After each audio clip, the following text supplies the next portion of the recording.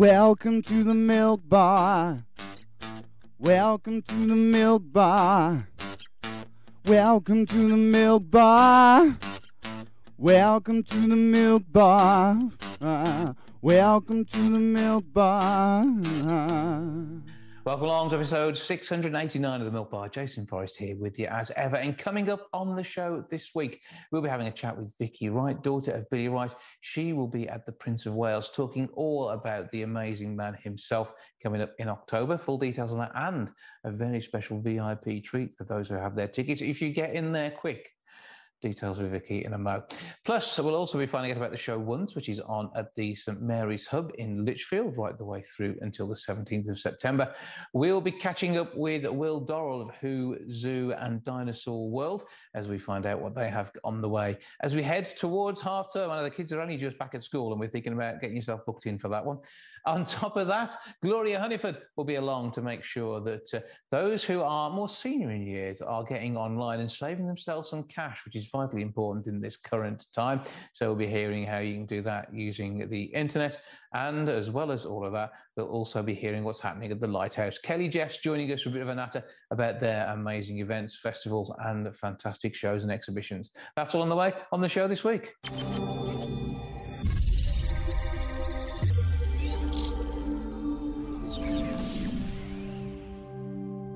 On Thursday, the 20th of October, there's going to be a magical night of memorabilia and conversation at the Prince of Wales in Cannock. It's all going to be started by Vicky Wright, daughter of Billy Wright, about whom she will be talking. Hello, see how are you doing? Hello, it's nice to see you, Jason. It's, it's, it's always good to have a catch up, isn't it? But there you go. It is. You've got me up a bit early, I have to say, on a Sunday morning. But uh, never mind. I'll forgive you. I'll forgive you. I was out late last night. Bobby did a comedy club in uh, in Twickenham, so uh, we didn't get back till late from that. So it's a, I'm a little bit like. but, but, but, ever the professional and looking fantastic. You wouldn't know oh. you'd had a late night, to be fair. So uh, well, I, I, look this bad all the time, but there we go.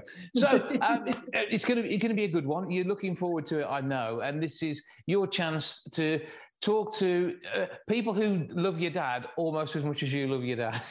If that's possible. Yeah, I mean it's it's incredible, Jason, because when I, I launched it at Molyneux three years ago, mm-hmm. and um, I think I told you last time, it was because of, of Kelly, my daughter. You know Kelly, don't you? Yeah, I do. And um, Kelly was um, well, she was the apple of Dad's eye, and she mm-hmm. was only Bubba, and he got poorly, and so she only got to to know him and him her for like six months.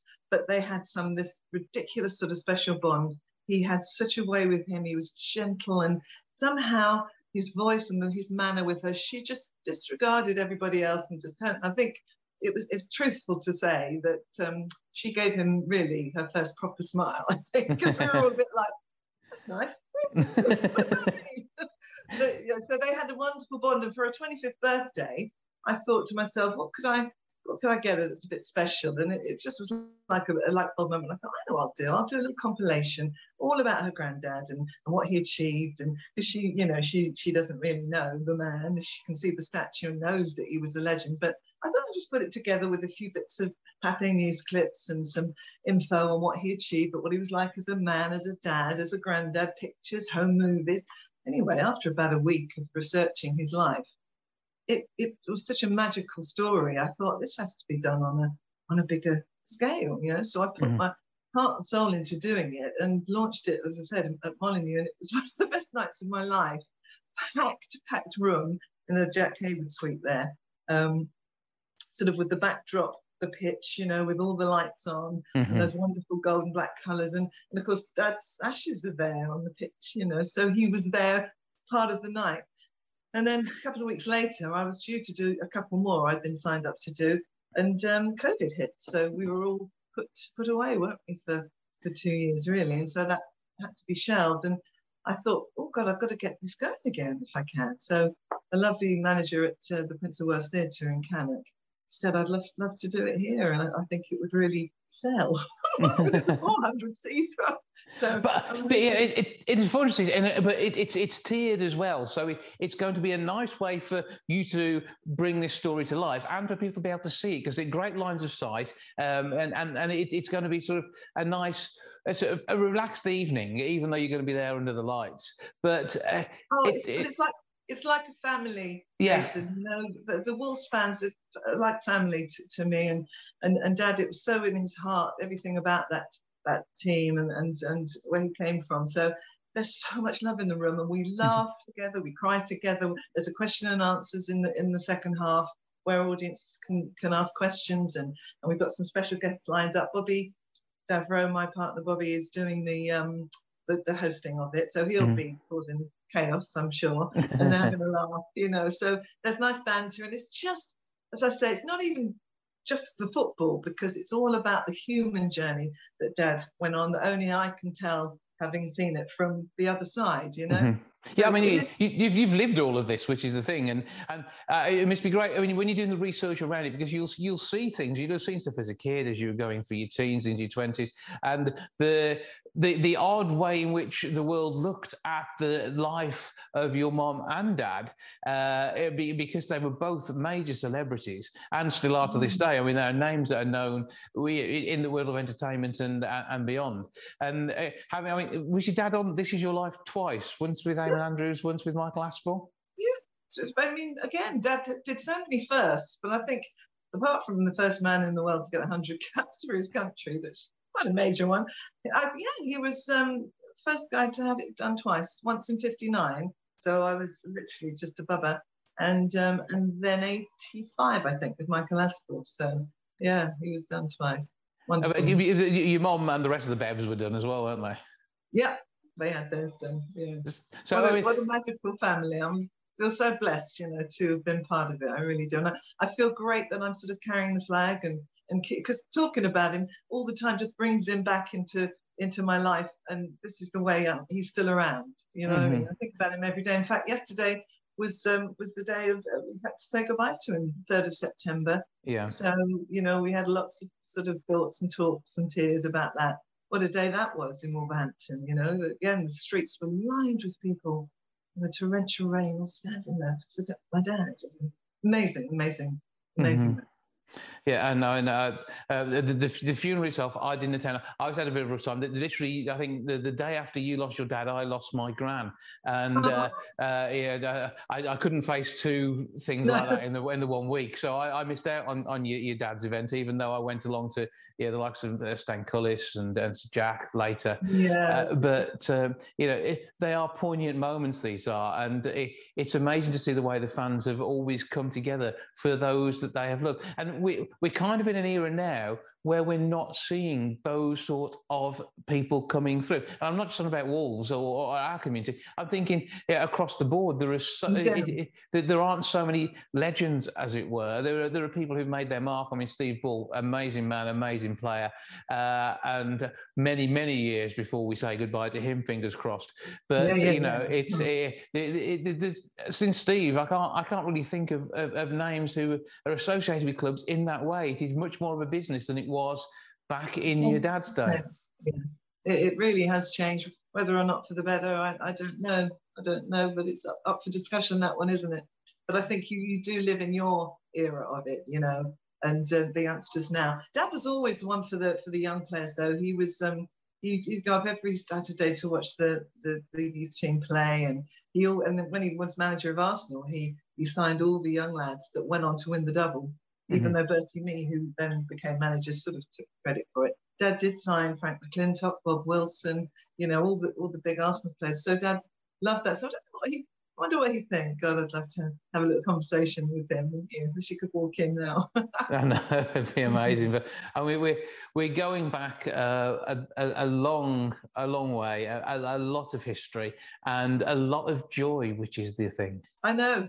And um, what's lovely about it is because, as I said, it's such a family. The Wolves fans, I think, are, are the best in the world. And it, it's such a like my granddad. I get loads of tweets, you know, saying, "Oh, I'm going to come because my dad was such a fan of yours, my mum was in love with your dad, or I met your dad." There are all these stories about my granddad took me, and then I took my son, and you know what I mean. It's all this family-orientated stuff. So it makes it like a community. It's not just me standing there sort of telling the story in a very sort of um, matter of fact way. It's it's it's like a personal thing with with everybody in the audience because I feel they all remember him, know him. Even the the youngsters that you know don't remember or seen seen him play, he's still that guy, nine foot tall outside the football ground. So he must have been something special to the club, mustn't he? Mm-hmm. And and that night where the stand was opened and and he was on the pitch, that's it still stays in my memory as uh, as an amazing evening, and, and just the adoration that was there was so deserved, but uh, you know, and, and, so much part of the fabric that has been Wolves for for decades.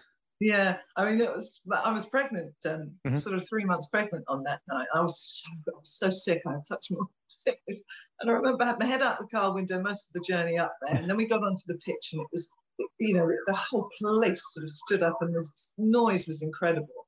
And Dad, he did his really touching um, speech, you know, mm-hmm. about what an honour it was and what a privilege, and and uh, he was so humbled by it. You know, he said, "Why would they never stand after me?" You know, he was so incredibly sort of humble, I suppose is the word modest, isn't it?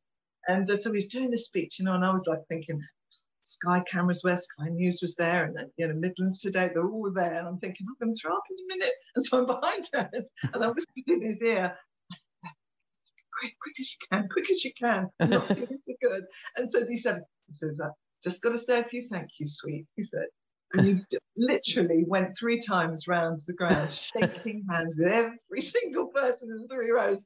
But that was Dad, and that's why he's so he's he was so loved and still is, you know. Mm-hmm. Well, some amazing memories will be shared. It is Thursday, the twentieth of October. Now you've got something very special for us as well, haven't you?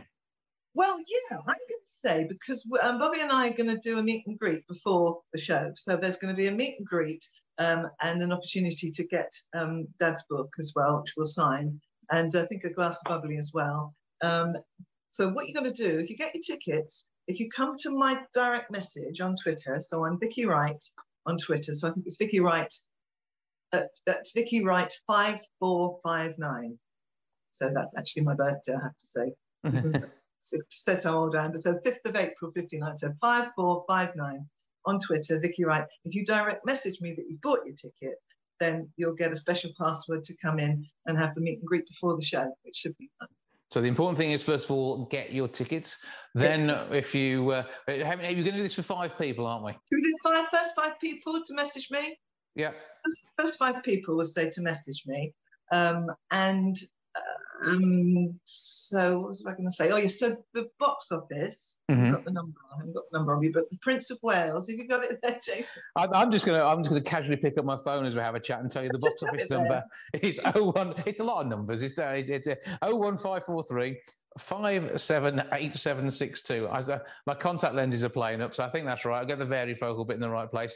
Oh one five four three five seven eight seven six two is that box office number. Just nip along to the Prince of Wales website as well. You'll be able to grab your tickets yeah. that way too. And also, also on my on my tweet, if you go onto my page, I've got a direct link there, so you can click on that and it goes straight through to the online booking. So that makes that makes things easier, doesn't it? Than, nice and simple. Get get get on there, get that done, and uh, you uh, can be not only buying your tickets to go along for it. It's going to be a fantastic evening. But if you get one of those first five who DM Vicky and give us that uh, Twitter handle again at Vicky Wright five four five nine. And then you can uh, be if you're on the first five and you've got your tickets, then you can go along and have a bit of a meet and greet beforehand, which sounds fantastic to me. I'm going to try and get there before the uh, before the gig as well, so we can say hello and have a bit of a natter. The more so the we'll... merrier. And everybody, if, if you're there and you're coming, absolutely come and say hello to us afterwards. It's a pleasure to meet everyone and, and hear all their stories. And and you know, it's it's a real it's a real night to celebrate and, and just and just sort of celebrate and remember him in a, in a, in the best way we all can.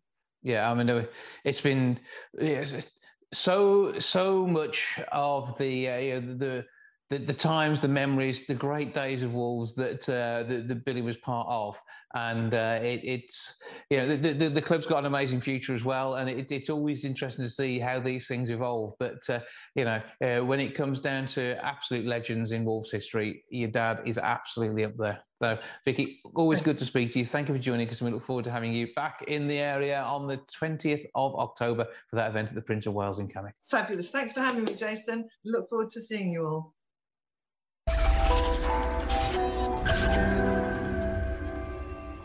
St Mary's Hub in Lichfield is playing host to Once, a new musical. It's running right the way through until the 17th of September, and I have with me now the director and musical director. Hello, boys. Hello. Hello. So we have Ewan Steady and Chris Buckle, and uh, this show in itself is uh, it's, it's storytelling. It's it is music. Um, it is uh, a wonderful cast, all of whom have to pick up musical instruments as they go along. So uh, put that together with a two-week production schedule.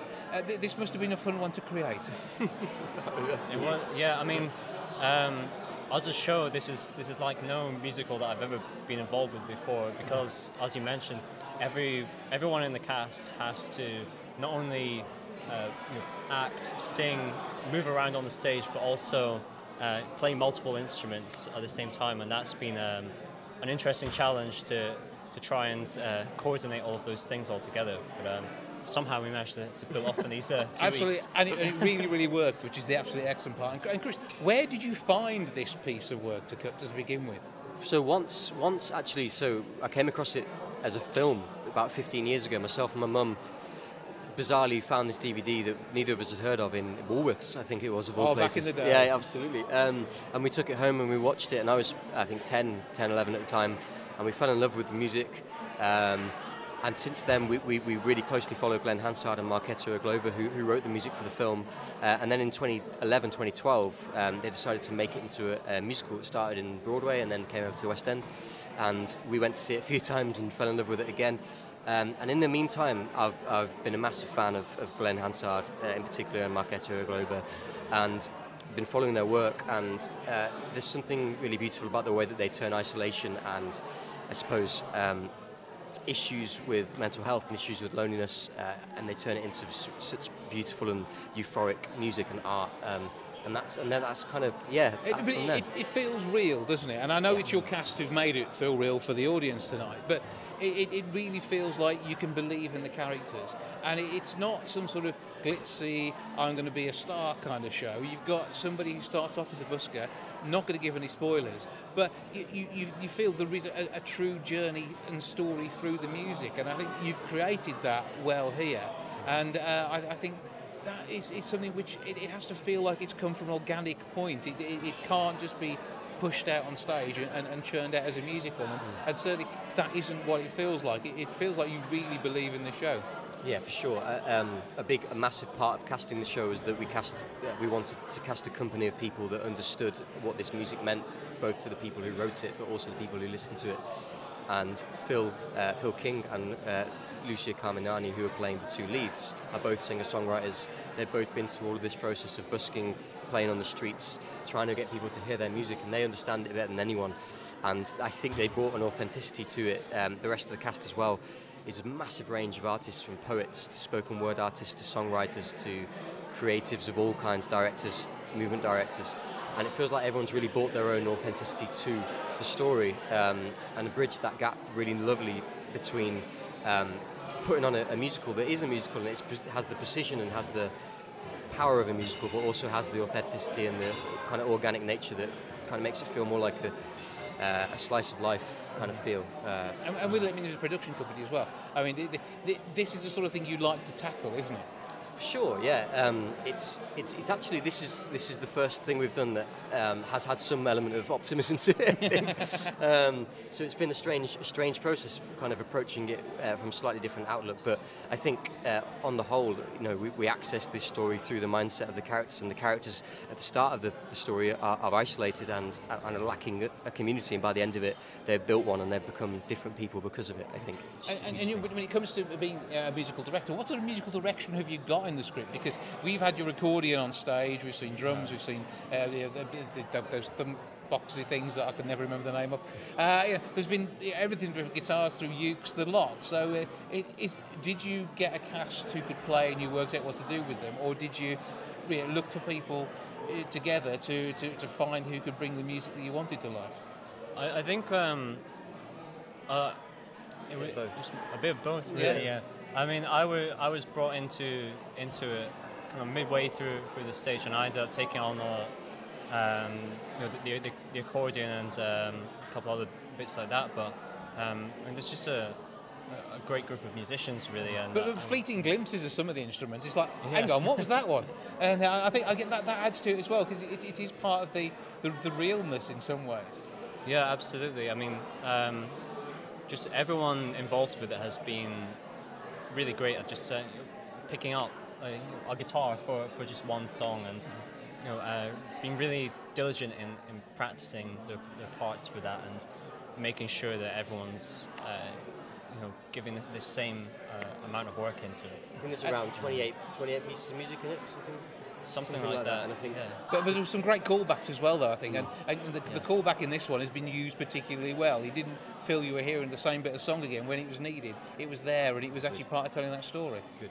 Yeah. Um, one one thing that we felt was really important um, uh, was the with the music. Uh, we started off, um, you know, showcasing one of the the leads on their own, and then another one, and then it builds up into the something this this burst of, of it layers the band yeah. Through, yeah that way um, because originally it's it's scored to have um, accompanying instruments on on the first couple of songs, but um, you know felt it was really important to have uh, just to focus on, on them where they are mm. um, in their, their stages of, of life, and then suddenly you know the the main guy character he's brought into this world of music that um, that the girl reveals uh, reveals yeah. him to. Well, an amazing production. I don't normally have to do the review with half the cast and the uh, the director sat next to me, but it is well worth coming along to see. You will be impressed by the whole of the uh, the ensemble, and I, th- I, think that is the important part. It is an ensemble, isn't it? You've mentioned oh, community. Absolutely. It is everyone coming together. And the audience are part of that as well. Yeah, yeah. and and, and, and yeah, the, there, there, are points where you feel you want to applaud but you can't because it would spoil the story, and then there are other bits where you just absolutely have to make some noise. And a standing ovation for the first night, I think that is absolutely deserved, and I, hopefully you guys appreciate.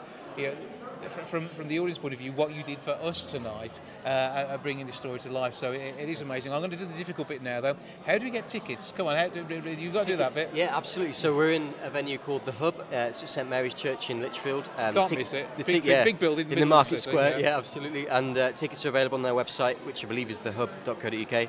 Um, I'm not sure what that is actually. I'm ready to check. Go- Google St Mary's. St, St Mary's the hub. St Mary's, Mary's the hub. Yeah. So yeah, yeah, but it is the hub at St Mary's. Uh, you yeah. can come along, check it out. But thank thank you for this evening. Thank you for an amazing show. Have a brilliant time. Break a leg if we have to say as you head through to uh, the last show on the 17th uh, of September. But it is an absolute must see. Do make your way over here and enjoy it over at the hub. Thank you. Thank you both. Thank, thank you very much. much. Cheers. Cheers.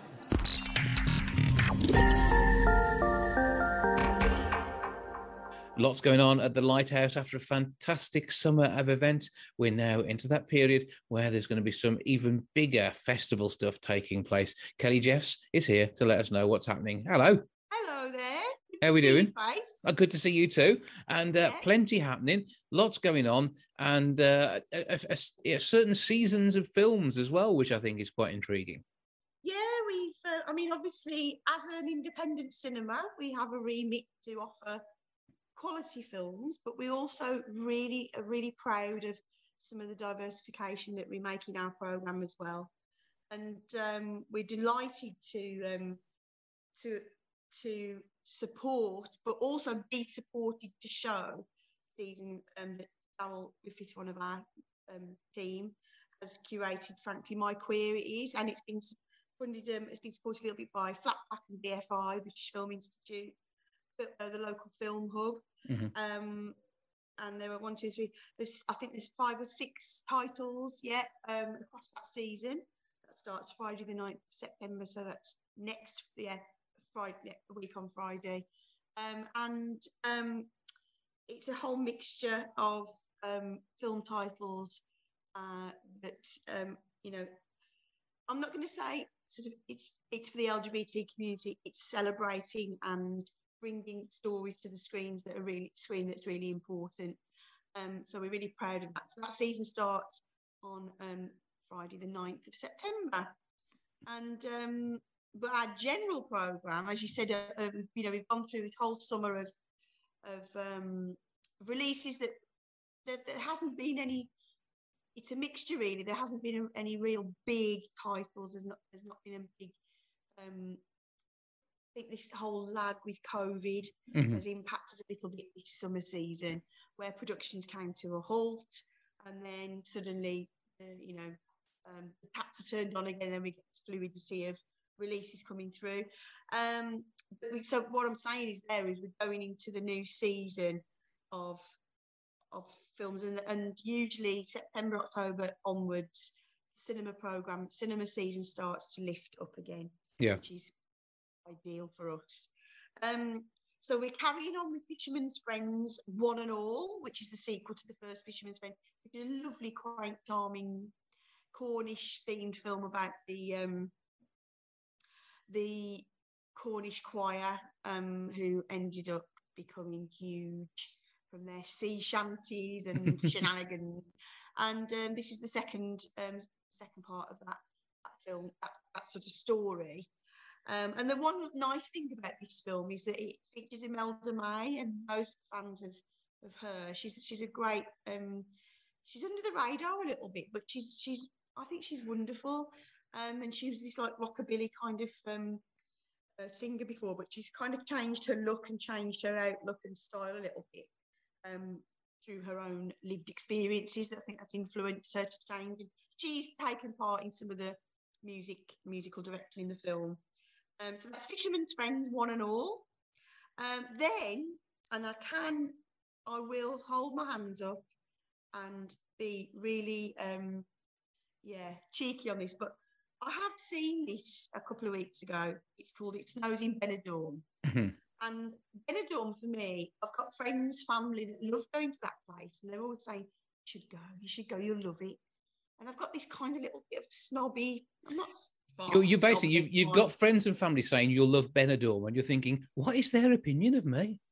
Uh, well, yeah. However, this film, it snows in Benidorm. We've all, we, you may have all seen Timothy Spall doing his. um He's been doing a lot of promo around this. We all love Timothy Spall. What a brilliant actor Timothy Spall is, and he um he plays kind of he's kind of dour character. and He goes into early. He's sort of been forced into early retirement, so he decides to pop over to Benidorm to go and visit his brother and sort of just do the fat a little bit, but his brother's gone missing and we don't mm-hmm. know where he's gone. Ooh. And it's really it's a bit of a love story. There's a the backdrop of Benidorm. Point I'm making is they make it look, you know, the film the director makes it look really and a really interesting place to go. See, so it is. It's So- just you. It's just you've got this hang up about it for no reason whatsoever. Uh, It's it's not a hang up. It's just I've just it's I I, I think for me it's because when I do try and get some time from off from work, I try to go to places that are very quiet and peaceful and calm. And uh, Benidorm doesn't spell that out to me, but this film is is really it's an interesting take on Benidorm. Benidorm, but it's always a it's, always, it's a good platform for Timothy Spall as well. It's a it's a Spanish um, produced film, it's a Spanish it's a Spanish film. It's as such, but it's obviously everyone's speaking English. But um, yeah, it's it, that's we got that until 15th September, and then going on the theme of Spanish. Mhm. again, I've already seen this, and it's I highly recommend this film. Uh, it's called Official Competition. There's a big buzz going around it. Uh, it's starring Antonio Banderas and Penelope Cruz, and it is a total kind of um, mockery of the cinema industry and the, the kind of the um, awards in you know the award side of things. Yeah. Uh, it's very funny. It's uh, she's very neurotic in it. She's got this amazing mass of curly hair in it. She's so she's just so watchable, Penelope Cruz. Um, and yeah, I would highly recommend that special competition. And um, we've got that right through till September the seventh on Wednesday. And then we go into um, from the 9th again. We're going into the new Alan Cumming film, which has had a bit of buzz around it as well, and it's had some publicity on. Um, they've been talking about it recently on Radio Two, um, and it's about um, the guy Brandon Lee. I think Mhm. People remember him who went back to school and pretended to be a sixteen-year-old. Oh yeah, he was he was well into his twenties or thirties, wasn't he? I think he was in his thirties, and um, it's set in. It's a bit of an odd story. Set in Glasgow, and um, and then it's all about what happened after, you know, the consequences of it and what happened. So Alan Cumming, what a great actor he is. Um, and so we've got that um, from the 9th of September as well. So a really nice um, selection of films. Um, but um, then I'm so, so happy to at last announce um, that we've got National Theatre Live back. Now, this is something that I know it, it is the mainstay of a lot of uh, people's viewing, and it's a great opportunity to see theatre uh, in, and shows that you wouldn't necessarily get touring the UK uh, and bringing them to Wolverhampton. And the, the Lighthouse is the perfect venue, isn't it? The thing about it is, is that uh, I mean, obviously, from we were early adopters of satellite live stuff in you know many many years ago, and it's been a real lifeblood for independent cinemas, as you say. It's um, it helps to you know it helps to bring in a different kind of audience, but also it makes this the productions that you're watching so accessible. Royal Opera House, the Royal Shakespeare Company, the National Theatre, the Royal Ballet, the, the, the Moscow Ballet, the Sydney Opera House, all these what we would call, you know, we would call sort of um, uh, I don't want to say high end, but I suppose it's it's inaccessible to the normal person in the street mm. who hmm. can't afford to go to London, who can't afford you know, they can't even get tickets to National Theatre because the members get them first. It's very kind of exclusive. Mm-hmm. So when you can just phone up, book a ticket for 12, 14, 15 quid, and you're seeing real quality creme de la creme theatre, um, opera, ballet, you know, there's a market for it. People want mm-hmm. to see it, and... and and you get to see it in a different way as well. In some ways, at the stage, you get a much closer view. There's no no bad no, no posts in the way. You were in a cinema. It's exactly the best way of viewing anything. You get to see facial expressions. You get to see nuances that you wouldn't see sat in you know in this in the up in the gods. In, it's lovely to be in the collective theatre, you know, in the theatre collective. Yeah. And to experience the essence of it all. But I think the fact that it's opened up to so many, you know, groups and, and clusters of people that can't get, you know, get down to London, and, and obviously the older generation as well, who are the captive audience in the main of this kind of kind of um, content. Um, they don't want to be they don't want to be travelling to London. It's mm-hmm. difficult. People having to make really difficult decisions now post COVID confidence is you know still questionable with certain yeah. people you know with certain groups of people so having this on offer again now it's been um it's been a long time we've been negotiating because we've had to sort of in terms of business we've had to um, negotiate with National Theatre, but it's you know back up and running, and we're so pleased. So for Sunday the 11th September is our first screening of Jodie Comer's Prima Facie, which um, we're going to have much to do about nothing coming up as well and we'll be opening the floodgates again to to um, the National Theatre content, which um, keep an eye on our publicity. Mm-hmm. And you've got some exhibitions um, taking place too, haven't you? We have. We've got um, we've got one exhibition that's opening now. It's opening now. It's called Paper Pulp, and it's by Ghislaine Harrison, who's from she lives in Wolverhampton, but she's French from uh, uh from France originally and it's on our balcony gallery. It's not in the main gallery where I'm sat now. It's in the balcony gallery, and it's stunning. It's, it's such a mixture of paper pulp, fabrics, embroidery, textiles, and it's her life's work on display. And she's she's never, I don't think she's ever really exhibited before, and she's a wonderful person. And we really um, are really pleased to, to be hosting this exhibition right through to the 31st of September. Um, so come along. She's going to do a couple of um, talk to the artist sessions as mm-hmm. well, which yeah. will be on our website shortly, details for that. And you can access that exhibition space two o'clock till eight o'clock, Tuesdays to Sundays. Um, but another um, another thing that we've got coming up, which I'm very, really excited about this. One of one of my favourite favourite comedies is one called the it's called Detectorists. Ah, uh, yes, I know the one. And, uh, yeah, and the guy that um, wrote the music score, his name is Johnny Flynn. He did the theme tune and and he's a singer songwriter. I think he's the brother or nephew of Jerome Flynn. Yeah. Robson and Jerome. Anyway, so there's a new film coming out called The Score, which I saw by, on a press screening last year, and it, it stuck in my mind. And I was thinking, I hope that gets a release because it's such an interesting premise. It's actually sort of a small time crooks, uh, thief, thieves, horrible characters, uh, but it's uh, but it's a musical as well, and it's a bit of a love story, and it's really funny in parts. There's some really good dialogue in it, and it is Will Poulter um, and Johnny Flynn's in it as well, and he's done the music. musical. But we've got the director coming for a Q and A.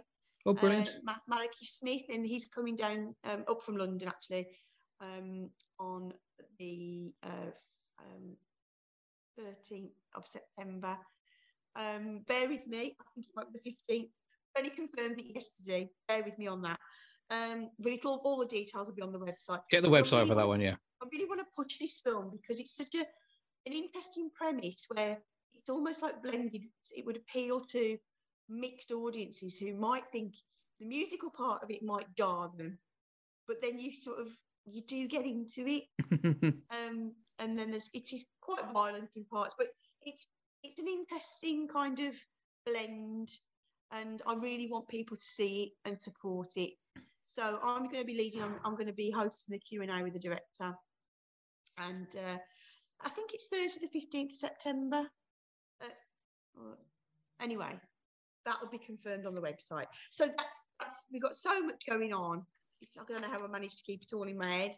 Um, yeah, but it's, it, it's always busy. Saturdays, I know. Saturdays we're starting our special once a month. We've been doing it for a few months now, where all our cinema tickets are five pound. Mm-hmm. We understand that there's lots of challenges. We're under a lot of pressure as a as an organisation, and we need as many people to come and use us for the city of Wolverhampton for the cultural offer in the region.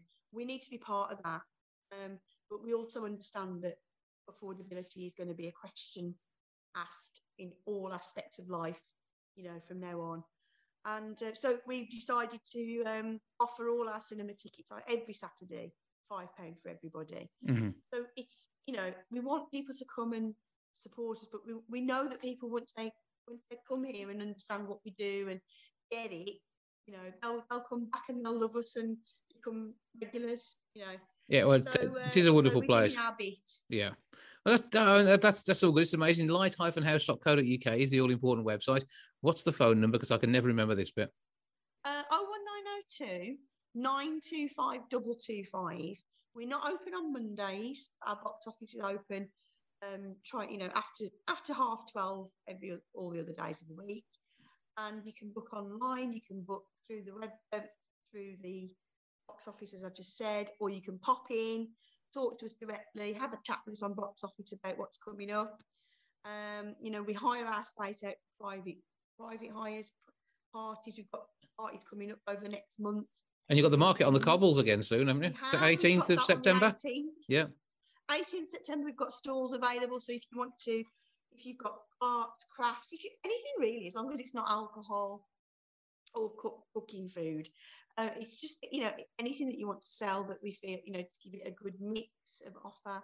We, this is going to be the third one, and we really want to persevere with this because we know it's it's a lovely atmosphere. It can link up with Medicine Bakery, which is the the artisan bakery that's across the cobbles from us, um, and just bring in some some footfall, um, create a create a vibe, you know, create something going on in the city hmm on a regular basis. Yeah, So and it, it, it helps crafters as well, doesn't it? If you've got if you're a small trader, this gives you somewhere in the city centre where you can come to and sell nice and conveniently. So uh, that's that all works for everybody. Again, light-house.co.uk for that. That's it, and you can book a stall. You can book a stall, which is twenty pound for the day, and um, you know that supports Lighthouse. It's not, you know, it just goes into the pot to keep us going. It's part of our social enterprise model.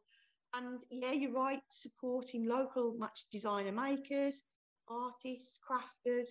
It doesn't have to be all about craft. It could be vintage. You could have, you could have some stuff from the, you know, from the house if you want to sell. You know, it's that whole essence of just supporting each other. Yeah, so if you've got old school uniform that you don't need, come along, sell it on, and uh, make some money to pay for the new school uniform and help somebody else out by getting something cheap. Exactly. We've all got stuff that we know is collecting dust in our houses, and you sit there thinking, I need to get rid of that. There's another way you can do it. Mm-hmm. All sounds good. Right, as ever, light-house.co.uk. You're going to do the phone number again, which is 01902 925 225. 925 225. Kelly, always good to speak to you. Keep up the good work, and I will see you soon. Thank you. See you soon.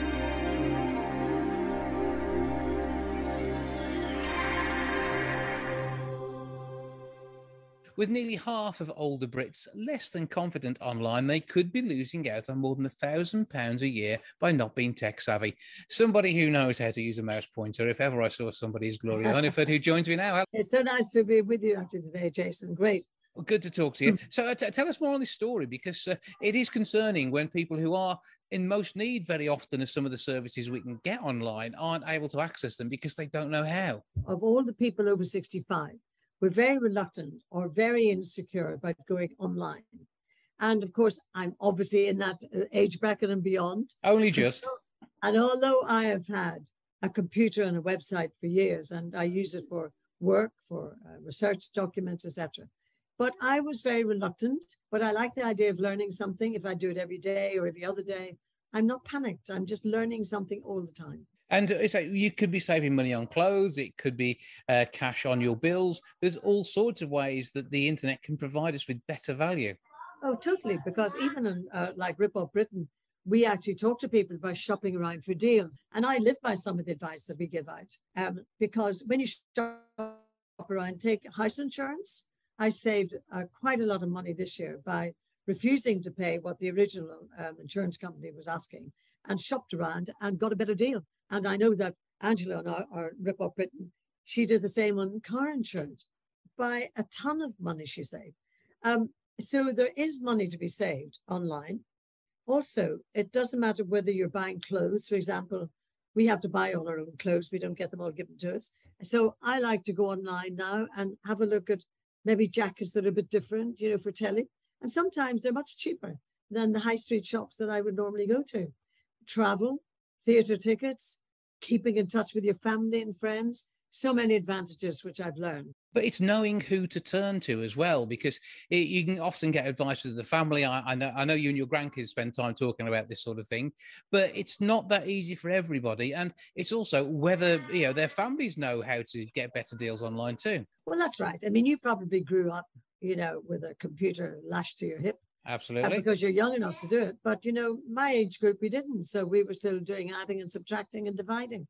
And um, so my grandchildren, you're right, they will say to me, glow, because they call me glow, and say, glow, just get into the 21st century, just learn how to do it.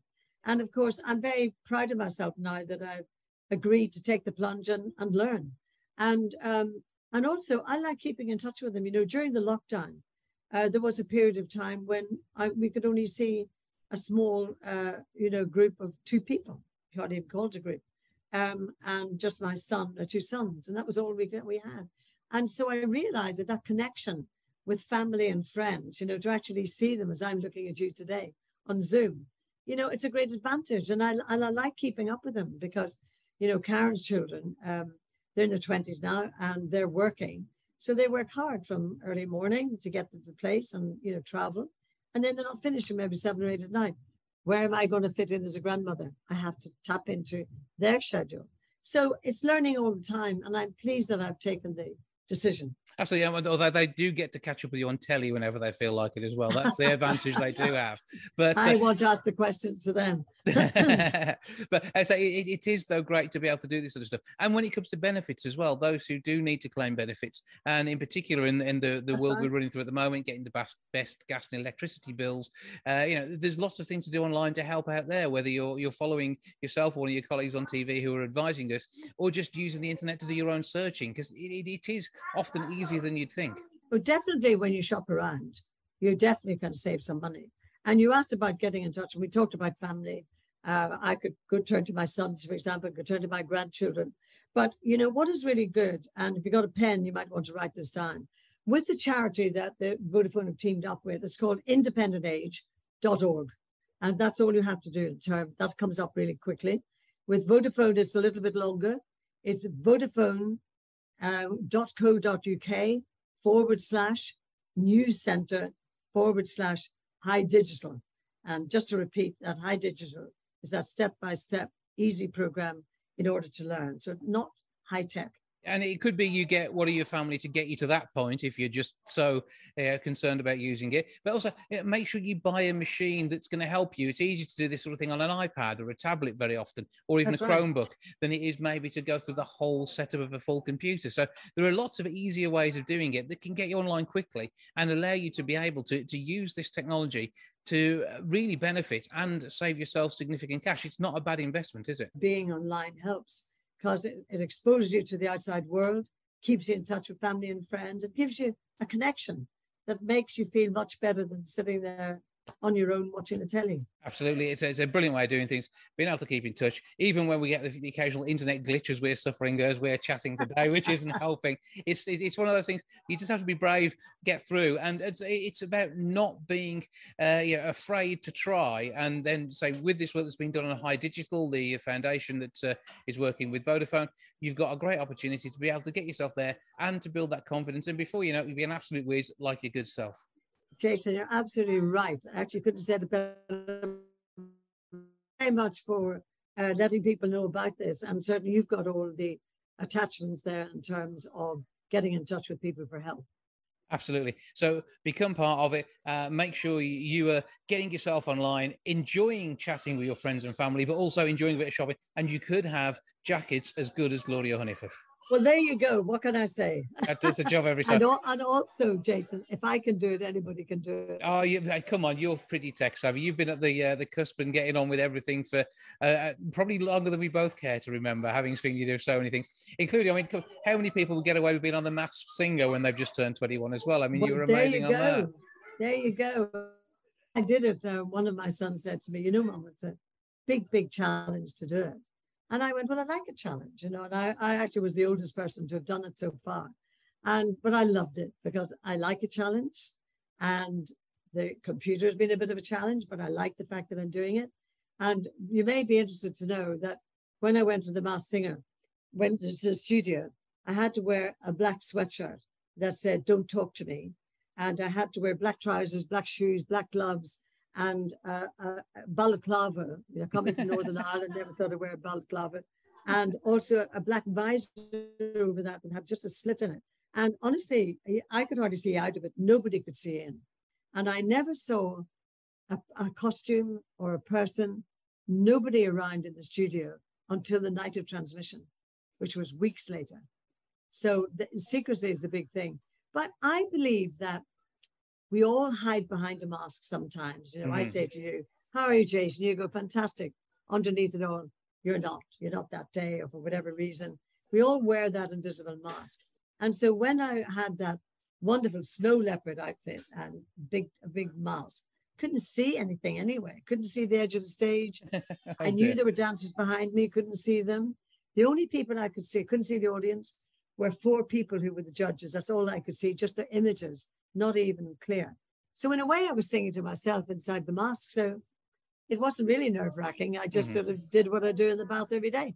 Well, you did it absolutely amazingly. It was wonderful. I had no idea it was going to be you, and I'd spoken to you a couple of weeks before. I was really disappointed you didn't let on then either. But there we go. No, so, nobody knew. who knows? You you you'll be doing either Big Brother or dancing or something next. Uh, not the dancing. No, I can guarantee it. That'd be a giggle if you you you'd love it. Well, give us that web address again where we can get online so everybody can do something else that's outside their comfort zone. Okay, so it's Vodafone.co.uk forward slash news center forward slash hi digital. And the actual uh, charity, which is really, really lovely, is independentage.org. That's all, independentage.org. Go and get the details. That's what counts. Gloria Hunniford, always good to speak to you. Thank you for joining us, and we look Thank forward to seeing much, you soon. Jason. For now. Bye bye now. Ring again. Oh no, no, we didn't call each other on the phone. Get in touch by Zoom again.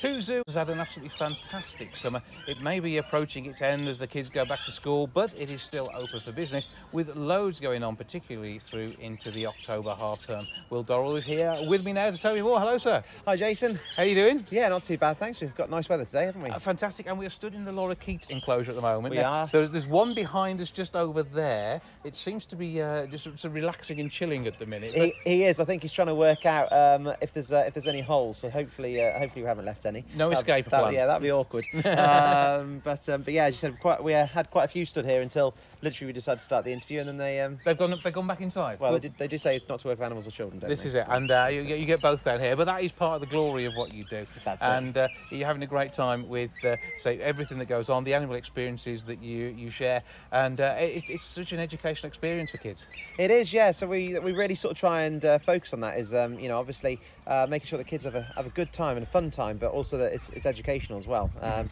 and uh, yeah, I mean obviously we've got sort of you know 15, 16 talks to take place each day, which um, you know we try and combine a bit of humour and, uh, and and and fun into that, but whilst making sure that that message of conservation gets across to all ages, from you know two to you know 100. hmm And with the work that you do around special events, so the summer is obviously a vitally important time, and uh, but great to see people queuing to get in because they know that they're going to have a good time down here. Yeah, it is. It's definitely. It's always always nice that way round rather than the opposite, isn't it? um, but um, I mean, obviously, you know, uh, the, the the weather has done us a, a huge favour this summer. Um, although it's been a little bit too hot at times, um, but even so, um, if we're, we're British. We've, we've, got to complain about We'll it. be, we'll be stoic in some ways and, Exactly, and that's whinge in others. But I mean, it's, it's been great for someone like the lorikeets because they're from a, hot climate, Yeah, and uh, so they probably absolutely loved every minute of it. Oh, yeah. Uh, and uh, the furry creatures coped too.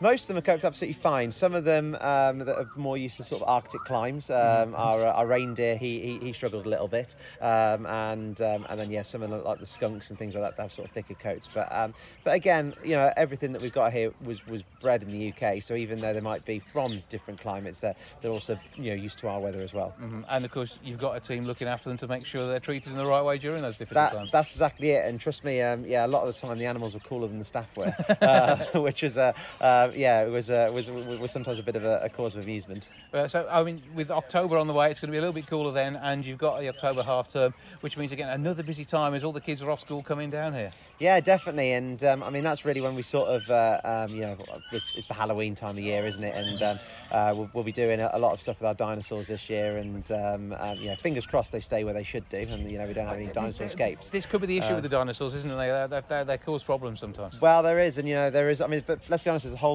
entire movie franchise based around that. So, uh, you know, if we can tap into a little bit of that, I'm not going to complain. Yeah, but, but um, it's great seeing them as they as you arrive. Though, as soon as you, you're in the queue, there's a dinosaur, a triceratops, sort of nodding hello to you. Yeah, exactly. Um, I mean, we did consider putting a T-Rex there, but we thought that might be a bit too scary for some of the younger uh, young customers. But But you have got the T-Rex cafe just inside. We do just inside, and, uh, and we do we do have a big T-Rex elsewhere. Um, but yeah, we figured having it right at the main entrance gate might be a bit too much. But um, yeah, we're certainly doing a lot with the dinosaurs over um, over Halloween. Um, probably, um, oh, well, we are going to be open sort of later hours as well. So doing a, a bit of what we did last year, which was diners in the dark. Uh, you know, being able to walk around and see the dinosaurs all lit up in the dark, and having some uh, live actors out and stuff like that. And uh, of course, we're going to be doing one of our um, uh, you know, very popular cinema nights as well, um, which we haven't quite yet decided the day, but it is going to be during that that half term week. So yeah, just keep an eye on our social media. Absolutely, our socials and of course online as well. And that's how you can get hold of your tickets. Give us all the details on how people actually book. Yeah, so they can uh, book through our website, which is www.hoo-zoo.com. That's who with a H double O. Um, or they can again do it through our Facebook page, um, which is uh, just uh, Hoo Zoo and Dinosaur World on Facebook. So do check those out. Go along there and, and, and see about all the events that are happening. But get involved, have, come down, have a great time, and great value for money too. And a whole day where you can enjoy the uh, the, the animal experience, whether it be something that's been extinct for a few millennia or uh, the, the real ones which we're enjoying and you're conserving. Well, exactly, that's it, you know, and um, yeah, like we said, we, we, we try and make sure that there's something there for, for all the family, never mind sort of what age you are, what you're in, interested in. Um, you know, if you like animals, you like dinosaurs, we, um, we like to think that we're all ideal. It's all good. But have a brilliant time with it, and uh, I know that uh, you, you're going to be kept busy uh, looking after your visitors today. Um, are you doing any talks yourself? Um, not today. Um, no, I say not today. Actually, I haven't done any all summer. Yeah, Um, you've been making- working everywhere else hard I, have been, I've been, I've been very busy with boring stuff like paperwork. And tending to dinosaurs. and tending to dinosaurs. Yeah, definitely. that's your re- yeah, that's yeah, exactly. But thanks for letting me come down here. Thanks for a great time, and uh, looking forward to uh, maybe nipping back during half term. Yes, and of course, animal experiences. Though one thing we do need to plug there. How do people book animal experiences? Yeah, so again, book the animal experiences through our website. Yeah. Uh, they're very, very popular and very, very busy. So, Mm. um, just to give you an idea, at the moment, weekdays we're booked up until sort of mid-September, and weekends until sort of mid-October. So you do need to book those well in advance. Okay. Book them through our website again, which is www.hoo-zoo.com. Well, I think that's all the housekeeping done. I can go off and enjoy the animal experiences down Fantastic, here. definitely. Yeah. Will, thank you for joining us. Cheers, Jason. Thanks.